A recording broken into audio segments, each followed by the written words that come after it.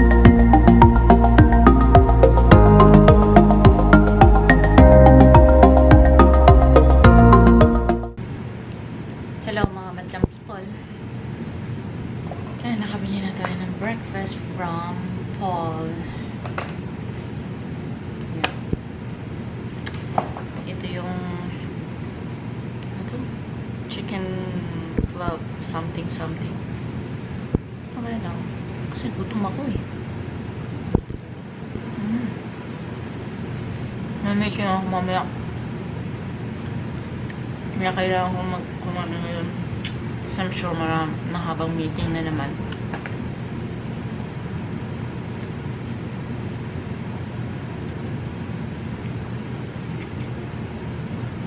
Tapos ang dami kong aasikasuhin.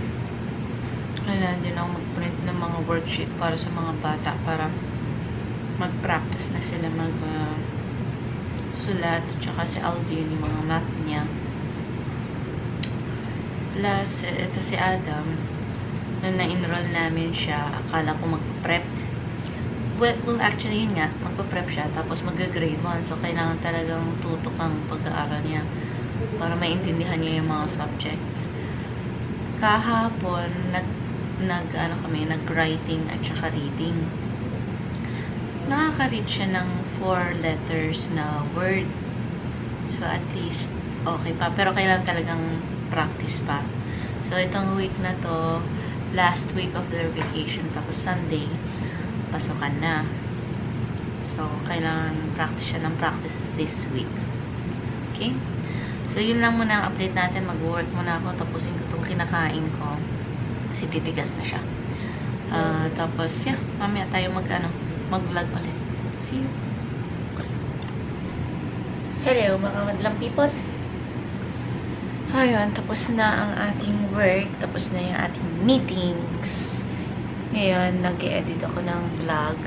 Plus, nag-edit ako ng shoot nung ginanap sa uh, charity event ni Baby Zion. So, ito yung sneak peek yung mga kinuha ko. Tapos, ito yung ine-edit ko. Tagal na hindi kaya ako nag-shoot. Nami, na, namimiss ko actually. And, uh, parang, ano, kailangan ko ng refresh course. Ah, diba? Yan, nag-edit ako. Namiss ko na magganito eh, ah. Kaya, uh, hopefully, makabalik ulit ako sa photography. Because, actually, photography was my first love. So, gusto ko, ano, ma magkaroon ng ng course, magkaroon, mag-enroll uh, sa course ulit pag may time. Alam mo na, super busy schedule. So, yun. Nag-edit ako din ng vlog, kaso lang, naka, naka ano, naka freeze, nakakainis. Hindi ko alam kung bakit. So, yun. So, edit muna ako mga guys. Pang ano, para mag-practice-practice. Okay? See you! Hello mga madlang people! Yan si Kuya Mar. Masipag si Kuya Mar. Ay, yung magpakita na naglilinis daw siya. Ah... uh, Nakaiglip ako. Nakalimutan nila ilang kagabi yung ano, ito sa taas. Sorry. Rooftop? Hindi na. O, di ba gumawa sila ron? Kasi na... Hi, Kuya Mar. bigla lumabas. Ay, bigla pumasok. Sino? Yukti. Yun? Ayaw mo si Mama? Kasi punta na kayo sa sila? Hindi, hindi ngayon. Hindi nga. Ginakuya mo. Kuya Bong, at saka bibili ng bigas daw. Nakabili ka ba ng bigas? Diyan, mas. Tapos, si Rai sa pharmacy. Ang tawag dito? Yun nga, nakatulog ako.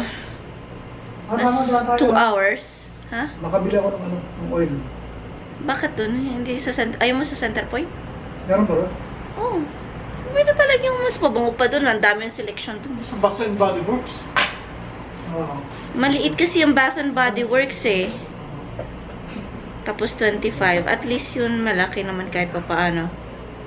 Meron, ayun nga kuya, kung gusto mo Bath and Body Works din. Mas mabango din doon. Yung oil. Yung ano, yung sa oil burner. Anyway, sabi ko, katulog ako for 2 hours, tapos paggising, nag-dinner kami, tapos nag-edit pa ako yung vlog, uh, vlog 33 ba yun? 34. Ewan ko, basta yung vlog na yan. Yung lalabas kami, kasi may kukunin kami, tapos bibili kami ng bigas. Siyempre, rice is life sa atin mga Filipino. So, bibili kami ng bigas. And, pagbalik, mag-upload ako ng ano, ng vlog. Ah, at saka mag-unboxing ako. Hindi pa ako nakapag-unboxing ng camera. So, gagawin natin yan mamaya. Okay? Hello, madlang people! So, we're back home. Tapos na kami mag, uh, mag bumili ng bigas. Importante ang bigas sa buhay natin. So, ngayon, as I promised, na mag-unbox ako ng uh, new camera. But before that, may binili din ako sa extra nung, uh, ano ngayon? Nung Sabado. So, bumili din ako ng, ano, ng, uh, uh, hard disk. Ito, by the brand uh, Western Digital. This is 1 terabyte from Extra. Uh, I think it was 100...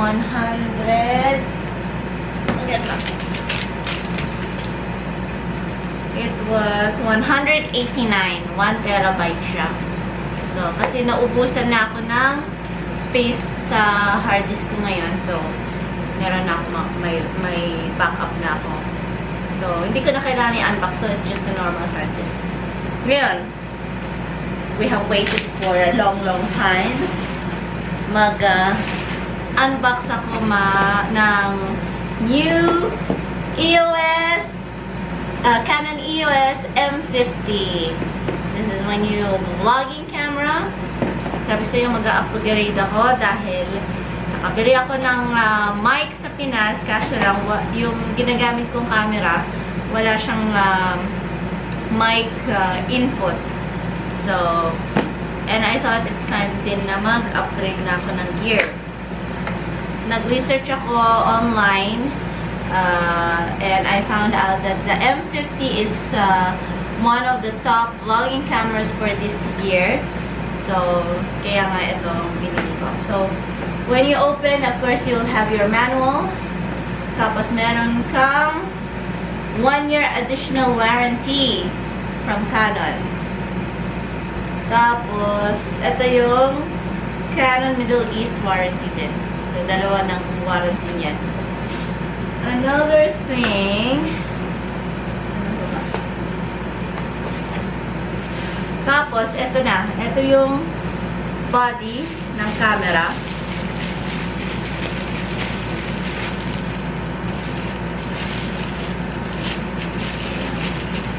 Ooh! This is our new baby. A new uh, Canon family. Si M50. So, as you see, wala pa siyang, uh, ano tawag ito? Yung lens niya, it comes this way. Tapos, ang kasama niyan lens is yung kit lens.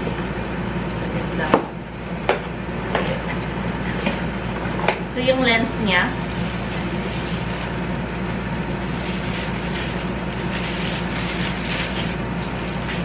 So, it's uh, 1545 mm na lens.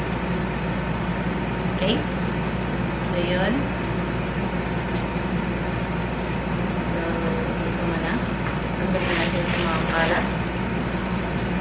Hindi pa yata ako nakapagpunta. Okay? So, tanggalin natin yung cap niya. Tapos, ito. Para mailagay. Ito yung cap. Tanggalin natin yung cap nito.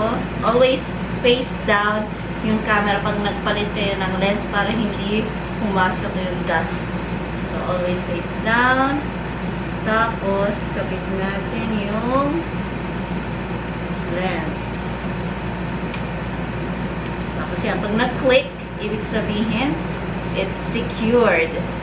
So, this is how it looks like. Very lightweighted siya.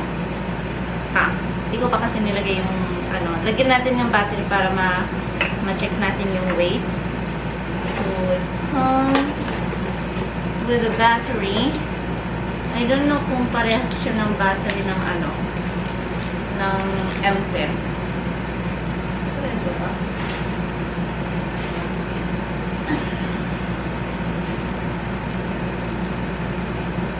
Parehas siya ng battery ng M10. So, at least meron na akong mga additional batteries. Ano ba? Ayan. So, lagyan natin yung, i-keep ko to kasi hindi pa siya naka-charge. So, ilalagay ko yung battery ng M10 dito.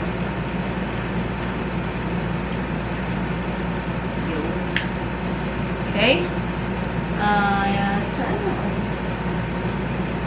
So, mamaya i-on natin. So, it comes also with the default strap. Tapos yung charger niya. Yan. So, hindi ko muna gagamitin itong charger. Kasi meron pa ako yung charger ng M10. So, I will be using that. Yung strap lang kailangan ko. Okay. Down. Tapos, it comes also with the bag. At least. Pero, isi-save ko pa rin itong bag na to. Meron akong extra bag. Tapos, ito yung ah, memory card niya. Yan. 16. Pero, saka na lang. Let me just use the memory card that I have. Try natin. Uh, guy na? Card and. Oh. Okay. Yung, yung lagay ng card pala kasama ng button sa baba.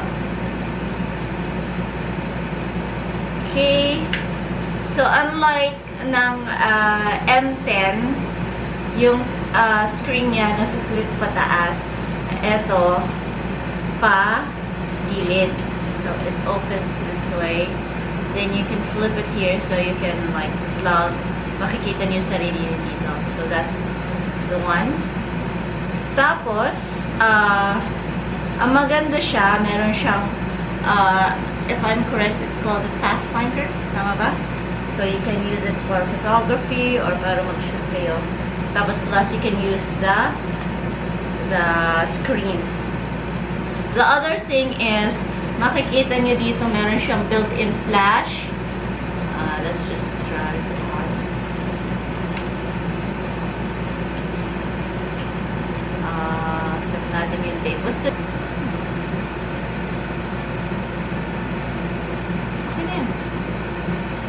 The way, it's also a touch screen.